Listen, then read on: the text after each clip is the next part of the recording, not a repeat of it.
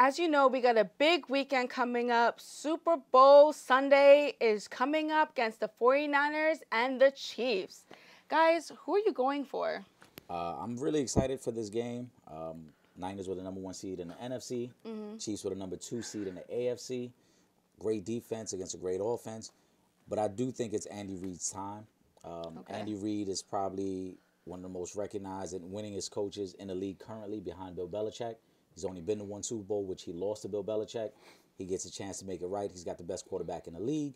Uh, and they just got too many weapons. And I, I don't know if the 49ers are going to be able to adjust to all that speed that Kansas City has. All right, what about you, Trip? Um, to quote the great Issa Rae, I'm rooting for everybody black. um, but more specifically, I'm rooting for the black quarterback, Patrick Mahomes. Okay. So I'm going for the Chiefs. Like Eric said, I mean, that offensive onslaught, Tyreek Hill, Sammy Watkins, uh, Kelce, and then the best quarterback right now in football is Patrick Mahomes. As great as that 49ers defense is, with that front four, with Richard Sherman on fire right now, yes, I'm going with the Kansas City Chiefs. Mm-hmm. It's Patrick Mahomes' time. It's crazy. I'm saying that it's his time now because it's only his it's third, only third year. year. What is his time? and listen, man, like I, I like I, y'all know I wanted a, I wanted a Super Bowl with two black quarterbacks starting in it, but we only got one. So I you know I'm pulling for Patrick Mahomes, and he's definitely more than capable of pulling off a victory with that offense with those weapons. I know the defense is not what I would like for it to be, but at the same time, it's hard to stop Patrick Mahomes. And if you look at uh, going back to the, the Ravens 49ers game earlier this season, as good as that front four was, they struggle against mobile quarterbacks. So I think Patrick Mahomes is going to do what he does every game. Absolutely. I think that's a big factor. Like you said, uh, Mahomes' ability to move around. 49ers front four is really good. They get a lot of pressure. But if you look at the quarterbacks they beat, they didn't have to beat anybody who who is as multifaceted as yes. Patrick Mahomes, being able to move the big arm down the field, right. and then all of the weapons. Mm-hmm you can't teach speed and you can't practice against speed. Yeah. You you can only adjust to it when you see it. And for the 49ers, the first time they're going to see Tyreek Hill running bottom. Right? Yeah. Mecole Hardman, Sammy Watkins, Michael Robinson. Mm-hmm. It's a lot of speed on the outside. And then, like you said, if you start Tyreek Hill trying that, to run in the Olympics. Absolutely. when you start trying to adjust to all that speed on the outside, now yeah. here comes Travis Kelce. Yeah. Here comes Damien Williams. And what you going to do with that boy? It's it's too. I, I just think it's too many weapons. I think yeah. the Niners will, will find their footing at some point in the second quarter. They'll yeah. start to adjust. But by then, Kansas City's going to be rolling. And they don't. Kansas City doesn't turn over the football. So if you're in a situation, I don't have that level of confidence in Jimmy Garoppolo, and that's not to say he can't do it, but I have not seen him do it yet. To where if you got to play catch up behind Patrick Mahomes and everything he's doing, because again, he doesn't turn over the football. Right. He came back twice from 10 points down to Tennessee. He came back from down 24 zip to the to to to, uh, to the Texans.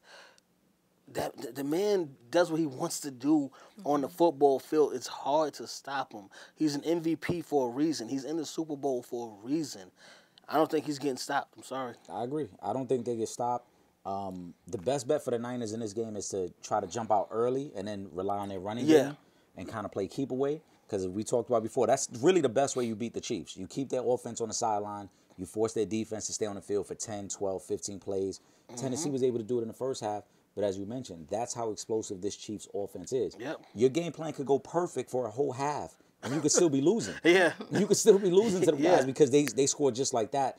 Um, also, uh, Cliff knows this because he's a big time Eagles fan. Andy Reid is almost unbeatable coming out of a bye week. Yeah. And the Chiefs just had two weeks to prepare for this game. Yeah.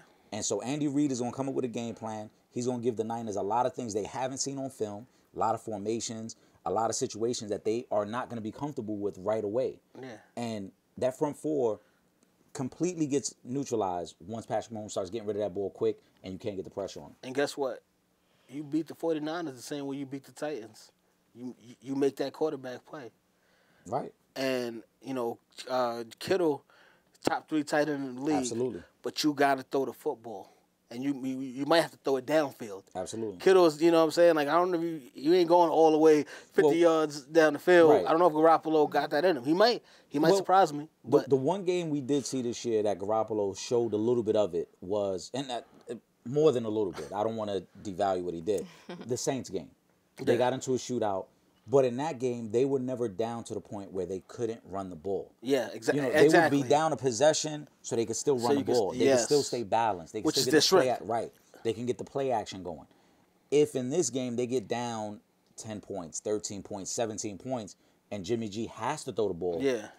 Because it's a different. It's, it's, a difference when you have to throw the ball as opposed to when you can throw the ball or you can still run right. and we're still in good shape. Right you get a you get a ten point deficit to the Chiefs, and you got to start throwing that football. It changes your whole game plan. Yeah, you didn't but the Niners have like the best defensive line ever. So oh, I ain't gonna say ever. That's guys just in the league. Yes, they do. Come not on. ever. Yeah, not, not ever. ever. But maybe maybe right, that's a little league. much. Maybe in, maybe right now they might have the best front four, but again, and and of course you know obviously Mahomes is not as fast as Lamar Jackson. However, they struggle with mobile quarterbacks that can throw the football. Right. I don't even think it's, it's, it's mobile quarterbacks. I think it's quarterbacks who make quick decisions. If you look at their losses, the Baltimore game, right? Again, it was a lot of read option, and Lamar was getting rid of the ball quick yeah. or running. And the weather it. was horrible that right. game too. Mm-hmm. But you look at again, the Saints chopped them up for thirty plus points, right? The Seahawks almost beat them twice this year. Yeah. The first game they beat them in overtime. The second game they got stopped at the goal line that would have won mm-hmm. the game. The Falcons went into San Fran and beat them this year. These are quarterbacks who make quick decisions with the ball. They're not going to allow that pass rush to get to them. Yes. And I think that's the same game plan this week. Andy Reid is not going to allow Patrick Mahomes to stand back there and take a beating the way Kirk Cousins no. did or he, the way Aaron Rodgers did. He learned his lesson. Right. He, I mean, he, learned, he again, learned his lesson from earlier this season. He's not, he definitely learned his Aaron lesson. Aaron Rodgers took a beating in that first half. That's yeah. why they were down 24 nothing at the half. And it was at that point it's over. Right. Andy yeah. Reid is not going to allow his quarterback to take those type of hits. I guarantee you, the ball's coming out fast. It's coming out hot. Kelce, mm-hmm. five yards. Tyreek Hill, screen passes. Hardman screens. We'll, we'll hand the ball off. You do all these things. You slow down the pass rush, so then you set up the big passes down the field. Oh, and and then that's when we're gonna hit you with the Tyreek. Right, and then that's when we, we let the speed get over the top. and you ain't gonna be able to do nothing about it. Right. Sorry. Do you guys think that it's gonna be a close scoring game? I think it's gonna be a very good game. mm-hmm. If I had to predict the final score, I think it would be somewhere in the range of uh, 34-24. Okay. Yeah, I, I, I, was thinking a, a 10 point. Right, somewhere of, around 10, 8 yeah. to 10 point range. San Fran, uh, again, San Fran is very good. You don't get to this point by being a bad team. Yeah, that's right. a fact. And if we look historically over the last few Super Bowls, aside from when Seattle uh, blew out Denver, that was about eight years ago. Mm-hmm. Yeah. Every Super Bowl has been pretty close. Yeah. So I expect it to be entertaining. I expect it to be close, but Patrick Mahomes is, is just on another level right now, and I think yeah. it's Andy Reid's year. Yeah. It'll be very disappointing if it was a low scoring game because then I would just turn it to something else. well, if it's, a, if it's a low scoring game, then it's going to be in favor of the 49ers. Absolutely. Um, but I just, like, I, ha- I haven't seen a team stop Kansas City from scoring the football, and that's whether they win or lose games. Right. Mm-hmm. It, uh, Patrick Mahomes is still putting up numbers. I I had him on my fantasy team, so I know even in losses, he's putting up numbers. They're getting the ball down the field. Now the defense may have given up more points than he was able to score that particular game, but they're gonna put points on the board. And I don't I don't think that the 49ers are gonna stop Patrick Mahomes from from getting the ball down the field and, and, and the Chiefs offense from scoring. Nah, it, again, too much speed. Uh, Richard Sherman having a great year. Oh yeah. But guess what? Kansas City's gonna pick on that other cornerback. Oh. That kid Witherspoon yeah. who continues to come in and out of the lineup because they can't find another guy on that side, yeah. they're gonna pick on that side. It's gonna be a problem. Yeah, uh, they're gonna go after that side. So whoever's over there, Sammy Watkins, Mecole yeah. Hardman, and that's gonna be the guy that that's gonna probably have the nine catch for yeah. 120 yard game. And we, you know, we the, the whole the whole uh, Revis and uh, Sherman battle right there, where you know people feel like he he's only a floater. Right. Mm-hmm. You're gonna have you gonna have your hands full with Tyreek Hill. Oh, he's gonna have his hands full. I mean, listen, anybody's gonna have their hands full with Tyreek because yeah. he, he's a better route runner now. He's not just a speed yeah. guy down the field. And for all the talk we're doing, you're, you're gonna have to figure out who you want to double team. Is it gonna be Kelce? Yeah. Is it gonna be Tyreek Hill? Yeah. Are you gonna just sit back and say no? We'll play cover two or cover three and keep the safety over the top and so they can't beat us. Or don't get it twisted. Sammy Watkins can get 200 yards. And then, and like I said, and then, and then here comes Sammy Watkins working other side. Yeah. What, what, are you What are you doing with that? Right. That, that's that's a potent. I, I got the Chiefs. I got offense. the Chiefs 34-24. That's my. my and if and if he gets into a jam, guess what? Mahomes can scramble and get down the field, and, and you won't catch him on that one either. Right. So it's gonna be rough. Definitely looking forward to it. If you're out there, you, listen, because you know I've been in situations where people don't know how to make the wings right. So I'm letting y'all know. Super Bowl etiquette is you, very important. Yes, if you're uh-huh. having a Super Bowl etiquette. party, I want to make sure the wings is good. Make sure you got your blue cheese ready.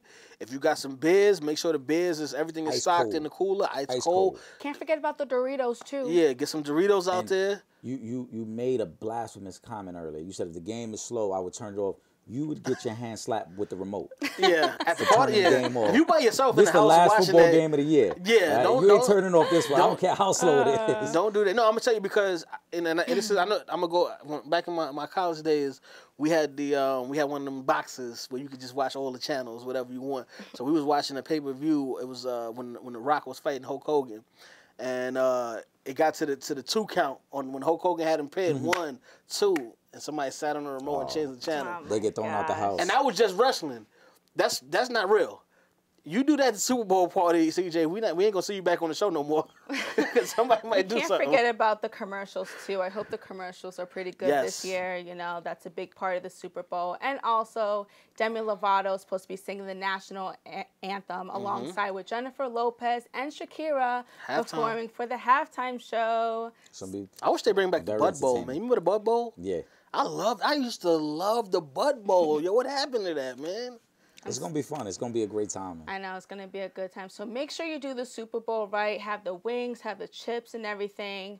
And um, we'll see you guys next time alongside with a Legend in Two Games and Trip. I'm Sierra Jordan, and we'll see you next week. Hopefully the predictions are right. Yes. Yeah. this is Deontay the Bronze Bomber Wilder, heavyweight champion of the world, and you're watching Real Fans Real Talk. Uh huh. This is real fans, real talk. Talk. Real fans, real talk. We as real as you thought. Real